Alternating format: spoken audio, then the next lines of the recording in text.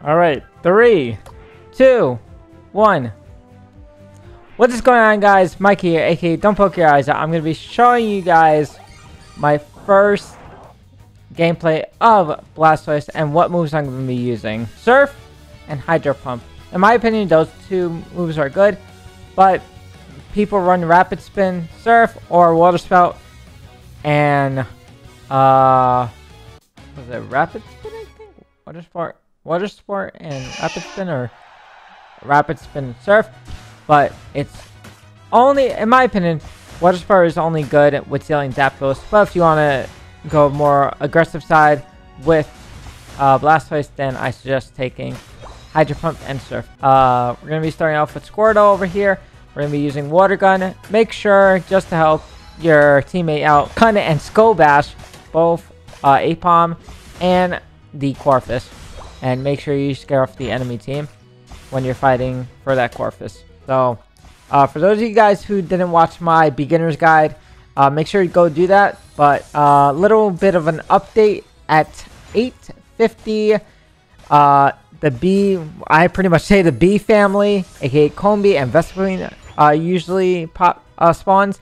And at 7.54 and at 9 minutes, uh, is when Corphish on the top, the top left, bottom left usually arrives. I will put like a little pointer to it.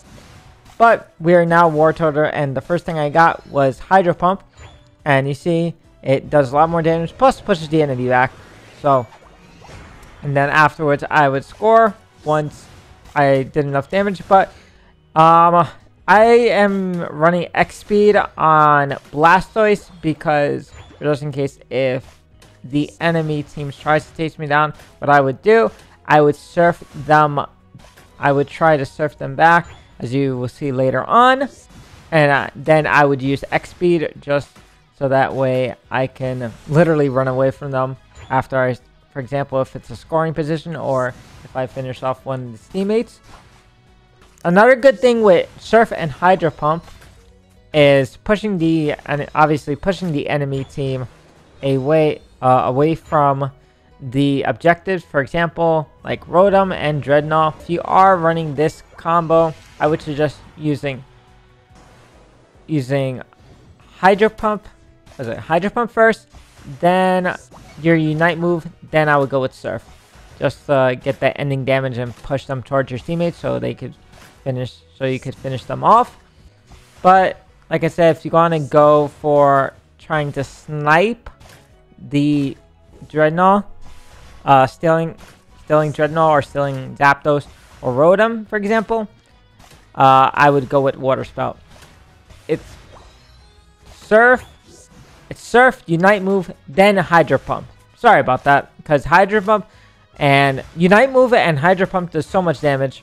So save the save hydro pump and unite move after you surf after you get after you push them towards your teammates. So i forgot to i forgot i forgot another thing. When you're getting rotom it's good to surf it's good to surf towards your direction instead of the enemy's direction due to the fact that you can get rotom easier for example, if the enemy team is trying to steal it with Snorlax's block, um, that way when you and your teammates are getting Rotom, they have hard, they have much of a harder time trying to get Rotom than you guys are.